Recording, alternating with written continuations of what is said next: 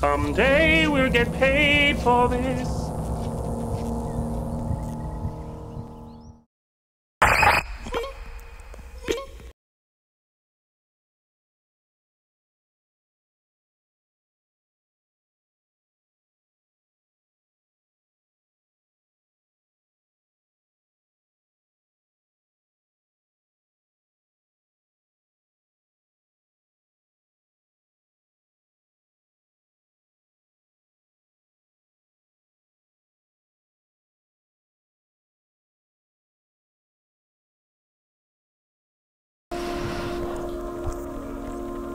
I just think he makes me more of a cool human deal. It's like, oh, Skinner, oh, uh, he struggles. He has a struggle.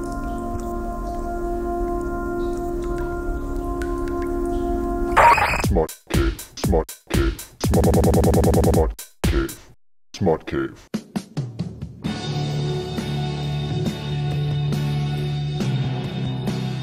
A very good evening to you, and welcome to another enlightening episode of The Smut Cave. I, as always, am your host, The Spelunker, and uh, as you can see here, we're doing things a little bit differently this evening. We are starting in on an incredible journey through uh, some favorite artistic uh, individuals of mine, going through them, experiencing them, learning about them. The first guest of this intriguing artistic series is uh, a great man, a great artist who is known to the world as Skinner. Hi. Good good evening. Ca- Caven. So, Skinner, I wanted to introduce you as a painter, but then I thought graphic design, and then I said, no, wait, music. And then I thought, oh, but there's also videos. What what is there to say about you? I'm unhinged and I don't I don't know when to stop doing things, but people uh, keep asking me but I- to stop, but I don't. I'm hoping that it, it gets cool. Uh, cool. You're hoping that it gets cool. In what sense would you say? Just get real cool and popular the um get like a thousand hits on the tubes on the YouTube. Excellent. Now we're here in New York City at the moment where Skinner is putting on a show of sorts. Skinner, could you tell us a little bit about the show that has brought you to New York? Yeah, it's it's a show, uh, kind of bratty, hateful little show. Um, kind of commentary on on some social stuff and throw in a little satanic energy. You know, I don't think Satan's really that tough, but or, or even that threatening or anything. But like, I consider most of uh, human endeavors to be sort of satanic in some way because they're selfish. That's what it is. Satanism is just doing your own thing that you want, regardless of what other people want or what's best for the whole, the group as a whole.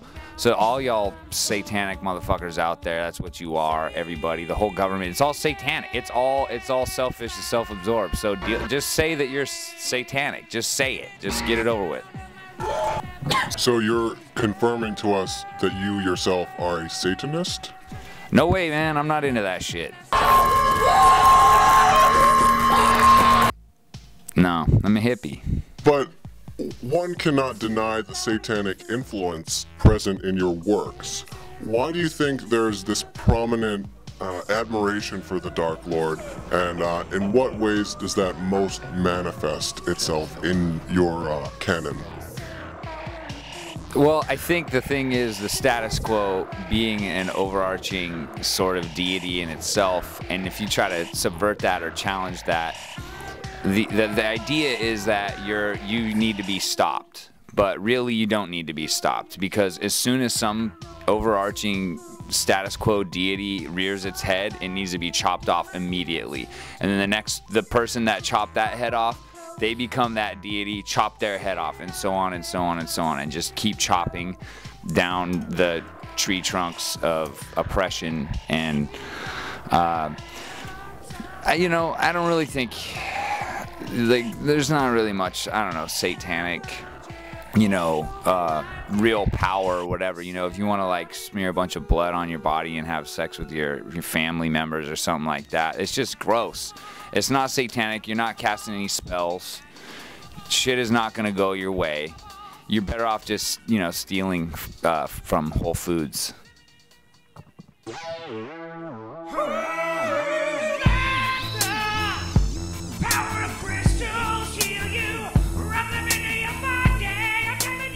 certainly in your work, there's just many creatures. You go for the creatures. The humans are often almost like background players or players that will eventually become these monsters. You know, I sometimes uh, draw the people uh, living in a world of these uh, deities. These just like people. I'm I'm really fascinated by the old drawings of people in hell uh, you know, with big rocks on their backs, walking around hell, miserable for all times. And I think the interesting thing is that, uh, you know, it's like, man, that's what you do here now. You got rocks all on on your backs, just carrying them around in hell. Don't wait till you get to hell to just figure out that it sucks. Just take get rid of the rocks now and do something that makes you feel free and light. So you're essentially doing the Lord's work in uh, showing us what's wrong inside. Why why did Johnny have a bad day? Why did Billy have a so-so day at summer camp? You know, it's it's demons. We all have them. Yeah, I had a demon that made me shit my pants when I was little, and uh, still, kind of dealing, with, that, demon. But uh, I just think it makes me more of a cool human to deal with. It's like, oh, Skinner, oh, he struggles. He has a struggle. This shit. Hello. Good. Smut cave. Smut cave. Smut cave. Smut cave. Uh, is there any kind of way to make this transformation happen? The occult ways, and we're gonna get we're gonna get you altered, an altered beast. Okay, just cut it deep for Satan. Oh, wee!